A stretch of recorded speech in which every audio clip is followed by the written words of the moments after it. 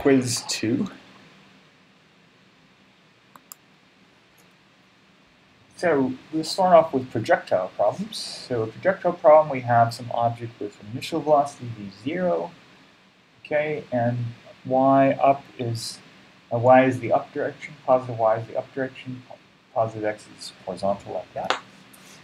Okay, so in the x direction we have no acceleration, so we have constant velocity. The equation we use is dx is equal to the initial velocity, v0x, or it's equal also to the average velocity x in the x direction. And so we have formulas like x minus x0 is, there's no acceleration, so we just get v0x times delta t. Now, for the y direction, we have ay is negative 9.80 meters per second squared, so we have constant acceleration in the y direction v0y is v0y plus ay times delta t. That's one of the formulas, one of the three useful ones. y minus y0 is 1 half ay delta t squared plus v0y delta t. That's another useful one. And if you don't uh, want to use delta t, then we have vy squared, the final velocity squared, minus v0y squared, the initial velocity squared, is equal to 2ay times y minus y0. Now, for these projectile problems, the only connection between the x and y motion is that delta t is the same for the two cases. So the first step in this recipe for solving projectile problems is you break the initial velocity into components. We have the x component, the y component. So vx is magnitude of v times the cosine of theta. Theta is the angle from horizontal. vy is v times sine of theta. And then the next step is to decide which direction x or y has enough information so that you can solve for delta t. Set up the kinematic uh, or the motion equations for that direction and then find delta t. And then if necessary, step three, use delta t that you found and use it to solve the kinematic uh, equations for the other direction. Let's do an example. A baseball is thrown with speed 20 meters per second at an angle 30 degrees above horizontal from a height of 2 meters above level ground. How far does the baseball travel horizontally before hitting the ground? Okay. So first step is to get the uh, components of the velocity in the x and y directions. So we have 30 degrees here. The x component is 20, the magnitude, times the cosine of 30, and we get 17.3. The y component is 20 times the sine of of 30, so that's 10.0. Now in the y direction, um, by the way, because the, the, clock stops when it hits the level horizontal ground, the, the delta t will be determined by the y motion in this problem. Okay, so we start off with the y direction. y minus y is 0, it drops 2 meters from the original height, so it's minus 2.0. ay is negative 9.8 meters per second squared from gravity. And V0y, we've calculated that V0y is 10 meters per second. And this is enough to solve for delta t. So we use y minus y0 is 1 half ay times delta t squared plus v0y delta t. Put in the numbers for y minus y0, for ay, and for v0y. And then we simplify, bring this guy, these guys all to the left side, and we get 4.9 delta t squared minus 10 delta t minus 2 is equal to 0. Okay, and then use the quadratic equation ax squared plus bx plus c is equal to 0. x is equal to minus b plus or minus square root of b squared minus 4ac over 2a. And then we plug in for minus b is, is 10 plus or minus square root of minus 10 squared minus 4 times a times c divided by 2a. And this will come out to 10 plus or minus 11.8 over 9.8 seconds. And that comes out to, this is an physical value, and comes out to 2.2 seconds. Okay. Now, let's figure out the how far it goes in the x direction. That's the final step. So we know delta t, we just calculated it's 2.2 seconds. Okay. And so we have that, the delta x oh well, okay, v0x is 17.3 meters per second, so x minus x0 is v0x times delta t, 17.3 times 2.2. Okay, just constant velocity, how far does it go?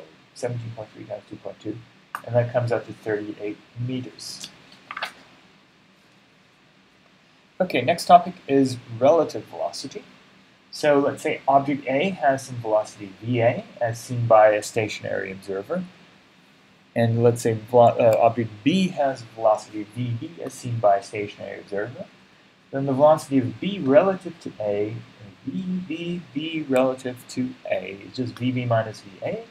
Or we can say VB, the velocity of B, is equal to the velocity of A plus the extra piece for the velocity of B relative to A. Okay. Now, then we talked about forces. So force F has units of newtons. One newton is one kilogram meters per second squared. We talked about the net force. Net force is the sum of all forces on an object. So Newton's first law, if the net force on an object is zero, then acceleration is zero, and the velocity is constant. So F net equals zero means acceleration is zero, means velocity is constant. All these are equivalent. Newton's second law is the most important one. Uh, it's F net is equal to the mass times the acceleration. Okay, then we talked about uniform circular motion. So in order for an object to go around a circle with a uniform speed, notice that the speed remains the same, but the velocity changes direction. Okay. In order for this particle, this object to go around the circle, there needs to be an acceleration pointing towards the center of the circle, and that's what's called the centripetal acceleration.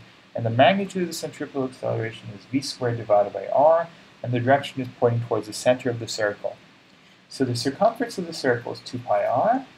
The period, let's call it capital T. We can calculate the period from the circumference and the speed by doing the distance, 2 pi r, the circumference, divided by the speed, v. The frequency is 1 over the period, if you need that. Okay. Then we talked about the linear to angular correspondence.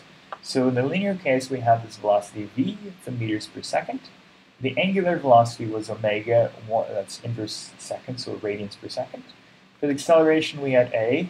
The acceleration is meters per second squared. For the angular case, we had alpha, uh, which is the angular acceleration, units of radians per second squared, or 1 over second squared. So I, I don't know if I said this out loud. This, this is omega. The symbol for angular velocity is omega. Now, so when we have constant acceleration, uh, constant angular acceleration, we can use the corresponding equations. So here's the linear case, v is equal to 0 plus a delta t. Over for the angular case, we have omega is equal to omega 0 plus alpha delta t. Linear case, delta t is v0 delta t, t plus 1 half a delta t squared. Angular case, we have delta theta, the angle, is equal to omega 0 delta t plus 1 half alpha delta t squared. Linear case, we have v squared must be 0 squared is equal to 2a delta x. For the angular case, we have omega squared. It's the final angular velocity minus omega 0 squared. The initial angular velocity squared is equal to 2 alpha delta theta. And then we also have the average velocity, uh, v bar, is equal to 1 half v0 plus v. And we also have the average angular velocity is 1 half v0 plus, uh, sorry, 1 half omega 0 plus omega. So omega bar is equal to 1 half omega 0 plus omega. So we solve these constant acceleration, angular acceleration problems much the same way as we do the constant acceleration problems. Now we can also relate angular quantities for motion around a circle to their corresponding straight line properties. So here's the arc length delta s. This is the angle delta theta in radians if you have a radius capital R, then this little length here, this arc length is just delta s is equal to r times delta theta. So now if I'm going to calculate the linear velocity, how fast the speed is around going around the circle, so it'll be delta s over delta t. So then I can do v is equal to delta s over delta t because delta s is r delta theta. We get r delta theta over delta t. But delta theta over delta t is omega, the angular speed. And so we get the result that v is equal to the radius r times the angular speed omega. Now, we already know there is this radial component of acceleration pointing inwards. Uh, v ar is equal to v squared over r. So then we know that v, okay, so we just said that v is equal to r omega. last, from the last page. So we can write AR is equal to V squared over R, replace the V with R omega, becomes R squared omega squared over R, that becomes R omega squared. So I can write this centripetal acceleration as R times omega squared. Now, if the speed is changing with time and it's not uniform circular motion, then we also have this tangential acceleration going tangent to the circle. Okay, so if it's speeding up, it's going, the tangential acceleration is in the direction of motion. If it's slowing down, it's opposite to the direction of motion. Okay, and the tangential acceleration is just the time derivative of the speed. Now, since d is equal to r omega and r is not changing with time, then I can write RT as R times alpha. The derivation is just the time derivative of R omega, and so we get R times d omega dt, but the time derivative of the angular velocity is the angular acceleration. So the formula is that the tangential acceleration is R times the angular acceleration. So if you have any questions, please uh, ask the student supervising today's lecture.